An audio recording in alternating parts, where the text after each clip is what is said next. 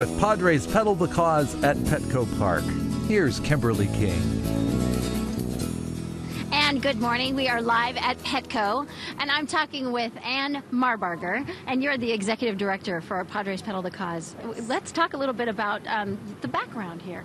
Sure. So Pedal the Cause is in our we are in our sixth year. Um, we started several years ago when our um, our founder Bill Komen is a 10 year survivor of lymphoma, and he and his family moved to San Diego and realized that San Diego is one of two cities in the country that has three NCI designated cancer centers right here, and those are the Salk Institute, Sanford Burnham Prebys, and Moores Cancer Center. So he wanted to find a way for those institutions to work together. So he created Pedal the Cause um, to fund collaborative grants. And then a couple years later, we added Rady Children's Hospital. So wonderful, and what a great. Um, so t- let's talk about the goals that you have for the Yeah. sixth annual, right? Yes, so we've raised 7.1 million over our first five years. Um, last year we raised 2.4 million, and our goal for this year is to raise 3 million for cancer research. Oh, well, good luck. I know you can do it. Just also, really quickly, let's talk about besides the ride, 100 miles.